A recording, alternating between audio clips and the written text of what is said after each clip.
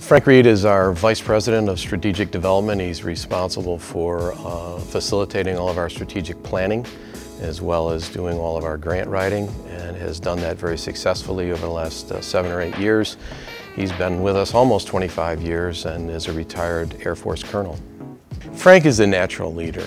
I mean, he came to me two years ago and said, Kevin, I want to be the project lead on the accessible recreation park that we were going to build. And I said, Frank, be careful what you wish for.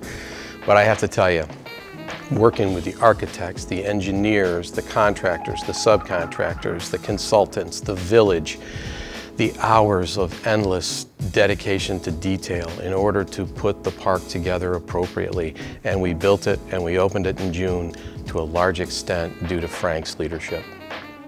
The thing that I like most about Frank is the things that he does outside of our organization and giving of his time and talent. Uh, he has tutored people for their GEDs. He's been an adjunct professor at Herkimer College. Uh, he served the town of Ava in a political position.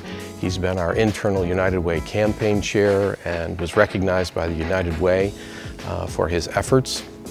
He uh, is our Special Olympics basketball coach. Uh, Frank does it all, and uh, he does it willingly, uh, one of the most selfless people I've ever met.